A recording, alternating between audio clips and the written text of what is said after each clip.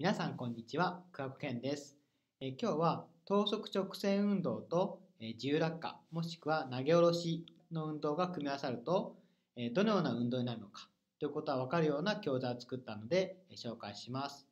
えこのボタンで、えいろいろと運動を選ぶことができます。例えば等速と等速で5を押すと、このような感じで X 軸と Y 軸それぞれに等速直線運動が再現されます。またこのボタンを押すとその時の軌跡が表されます。こんな感じですね。え等速直線運動と等速直線運動だとこのようにまっすぐの線になります。ここをえ自由落下にしてみて同じように押してみるとこのようにえ水平投射の様子が描かれます。またここのところを円直投げ下ろしにしてみると